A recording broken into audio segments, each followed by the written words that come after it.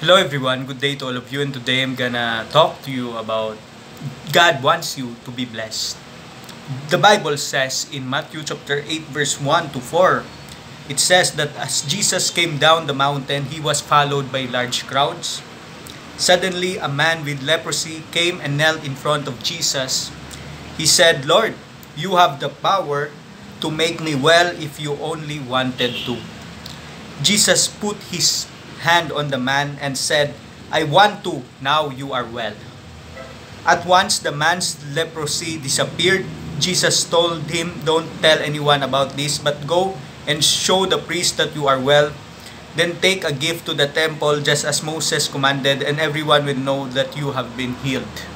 My friends, today, if you are if you are sick today and if you have a lot of difficulties in life, you have a lot of problems, you feel that you are not blessed, and you are asking God, is it your will for me to be blessed? The Bible says, Jesus said that, I want to. Now you are well. So it is the will of God for you to be blessed. The truth is, the thief, which is the devil, came to steal, to kill, and to destroy you. But Jesus came that you might have life and have it abundant life. So, yes, it is the will of Jesus. He came that we may have eternal life because the wages of sin is death, but the gift of God is eternal life in Jesus Christ. But He also wants us to have abundant life, meaning life to the full. So, yes, it is the will of God for you to be blessed because the Bible says that the blessings of the Lord add riches and He adds no trouble in it. So the blessing of the Lord brings riches and He adds no trouble in it. So it is God's will for you to be blessed.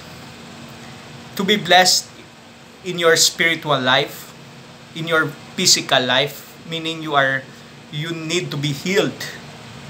And also your financial life, God wants to provide you for all of your needs according to His riches and glory through Jesus Christ.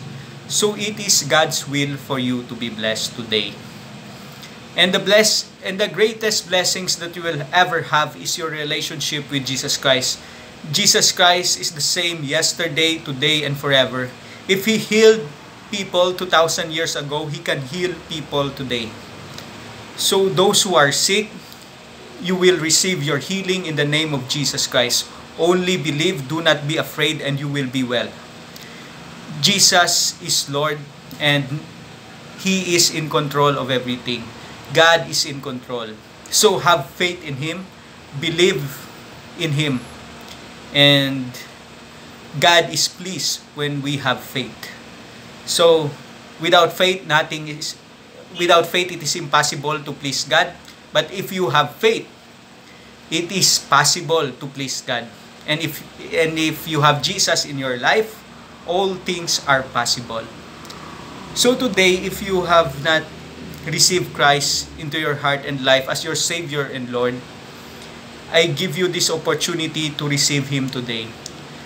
Are you sure that if you die today, if you close your eyes today, you will open your eyes in heaven? God wants you to be saved. God wants you to have eternal life. God wants you to be in heaven with Him when you die. So, God loves us so much, but because of our sins, we separate ourselves from His love. But Jesus died for our sins, so and He rose again. So the moment we accept Him as our Savior and Lord, we will have eternal life, and we will become a child of God. So today, if you want to receive Jesus into your heart and life as your Savior and Lord, I invite you to pray this prayer of faith. Just say, Heavenly Father, I am sorry for my sins. Today I receive your Son, the Lord Jesus Christ, as my Savior and Lord. And starting today, I will follow your will. In Jesus' name, Amen. My friends, if you pray that prayer, if you repent of your sins and you accept Christ today, I believe that you are now a child of God. Keep honoring God, keep reading your Bible every day, and you will be more like Jesus. So, God loves you and He really does. Thank you and see you next time.